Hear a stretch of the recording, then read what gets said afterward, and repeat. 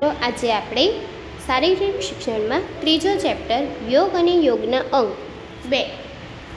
તેના વિશેનો અભ્યાસ કરીએ. બાળ દોસ્તો, પ્રકરણ બેમાં આપણે યોગના બે અંગો વિશે જાણકારી મેળવી. હવે આ પ્રકરણમાં યોગના બીજા છ અંગોની વાત કરીએ. તો બાળ મિત્રો, આપણે આગળના પાઠમાં જોયું યોગના આઠ અંગો છે. કયા કયા? યમ નિયમ આસન, પ્રાણાયામ, પ્રત્યાહાર, ધારણા, ધ્યાન, સમાધિ. બાળ મિત્રો યોગના આઠ અંગો જેને અષ્ટાંગ યોગ કહેવાય છે. તો તેના વિશેનો આપણે આગળ અભ્યાસ કર્યો. તેના વિશે આગળના ચેપ્ટરમાં બે અંગો વિશે જાણકારી મેળવી. હવે આજે આપણે આ પ્રકરણમાં યોગના બીજા છ અંગોની વાત કરવાની છે. તો ચાલો આપણે તેનો અભ્યાસ કરીએ. ત્રીજું આસન, જેને આસન અષ્ટાંગ યોગના ત્રીજા અંગ. આસનનો સાચો અર્થ એ છે કે તંદુરસ્તી, માનસિક એકાગ્રતા અને આધ્યાત્મિક ઉન્નતિ માટે શરીર દીર્ઘકાળ સુધી સુખપૂર્વક બેસી શકે તેવી બેઠક, જેને શું કહેવાય? આસન. બાળમિત્રો, આસન કોને કહેવાય?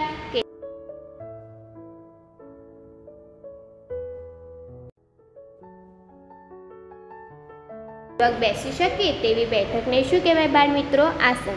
તો આસનોથી ચિત્તની એકાગ્રતા કેળવાય છે અને શરીર તંદુરસ્ત રહે છે.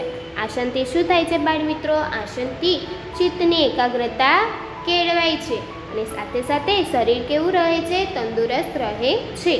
આસનને બે વિભાગમાં વહેંચવામાં આવ્યા છે. બાળ મિત્રો આસનને કેટલા વિભાગમાં વહેંચવામાં આવ્યા છે? તો આસનને બે વિભાગમાં વહેંચવામાં આવ્યા છે. અ, ધ્યાનલક્ષી આસન અને બ, સ્વાસ્થ્યલક્ષી આસન. તો ધ્યાનલક્ષી આસન અને સ્વાસ્થ્યલક્ષી આસન તેના વિશેનો આપણે અભ્યાસ કરીએ. અ, ધ્યાનલક્ષી આસન. તો ધ્યાનલક્ષી આસન આધ્યાત્મિક ઉન્નતિ માટે ઘણા જ ઉપયોગી છે. આ આસનોથી માનસિક તાણ ઘટે છે, માનસિક ચંચળતા ઘટે છે અને શારીરિક સ્થિરતા પ્રાપ્ત થાય છે.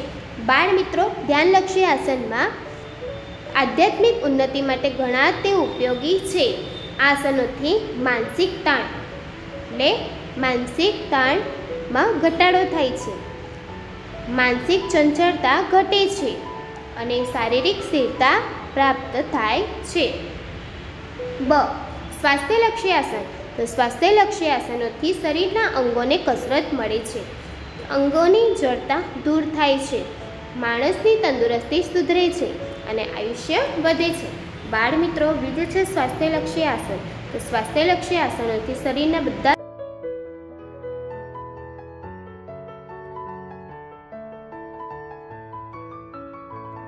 સુધરે છે અને સાથે સાથે તે તેનું આયુષ્ય પણ વધે છે. ચોથું, પ્રાણાયામ. તો પ્રાણાયામ એટલે શ્વાસોશ્વાસની ગતિ પર નિયંત્રણ રાખવું. જેને શું કહેવાશે? પ્રાણાયામ. તો પ્રાણાયામ એટલે શ્વાસોશ્વાસની ગતિ પર નિયંત્રણ રાખો.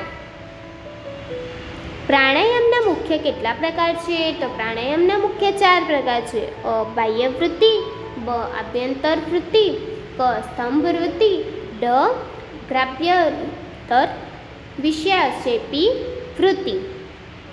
પ્રાણાયામમાં પૂરક, કુંભક અને રેચક તેમજ ઉપરોક્ત ચાર પ્રકારોની પ્રાણાયામની કેટલીક પ્રાણાયામ ક્રિયાઓનો અભ્યાસ આપણે આગળ કરીશું. પાંચમું છે પ્રત્યાહાર. તો પ્રત્યાહાર એટલે ઇન્દ્રિયોને બાહ્ય વિષયોમાંથી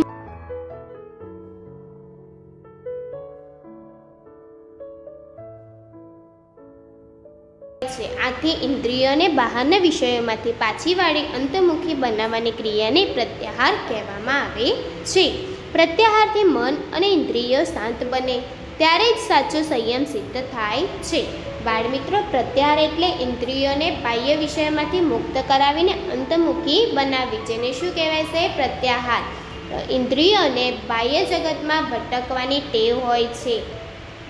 આથી ઇન્દ્રિયોને બહારના વિષયોમાંથી પાછી વાળવી અંતર્મુખી બનાવવાની પ્રક્રિયાને શું કહેવાય છે? પ્રત્યાહાર. તો પ્રત્યાથી મન અને ઇન્દ્રિયો શાંત બને ત્યારે સાચો સંયમ સિદ્ધ થાય. છે છઠ્ઠો પ્રકાર છે ધારણા. તો ધારણા કોને કહેવાય? તો ચિત્તના કોઈ પણ એક વિષય પર એકાગ્ર થવાની ક્રિયાને ધારણા કહેવામાં આવે છે. ધારણા કોને કહેવાય બાળ મિત્રો તો ચિત્તના કોઈ પણ એક વિષય પર એકાગ્ર થવાની ક્રિયાને ધારણા કહેવાય છે. જ્યારે વ્યક્તિ પોતાના ઈષ્ટ વિષય પર પોતાના ચિત્તને એકાગ્ર કરે, તો તે ક્રિયાને ધારણા કહેવાય છે.